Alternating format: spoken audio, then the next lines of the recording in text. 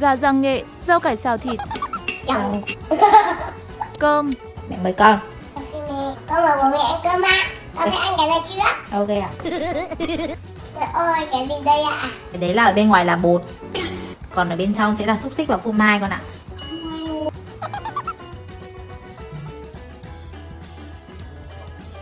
Ở trong một trường ăn gọi Cái này là hot dog Đúng là tiếng Anh với Ozzy thật thú vị. Một cái là gì Chặt chó sẽ mua cho ấy. Là bảo thời tiết bảo là như vậy mà. Chị báo thời tiết bảo như nào ạ? Tớ sẽ có sấm to tiếp. Thế là có mưa thật không? Con?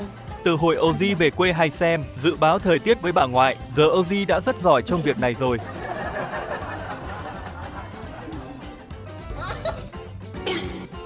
Cô cũng phải ngon Nhìn Ozzy ăn là biết món này ngon hay không ngon liền đúng không ạ? Dù chỉ là ăn cơm những món bình thường, nhưng hợp khẩu vị thì Ozzy đều rất thích.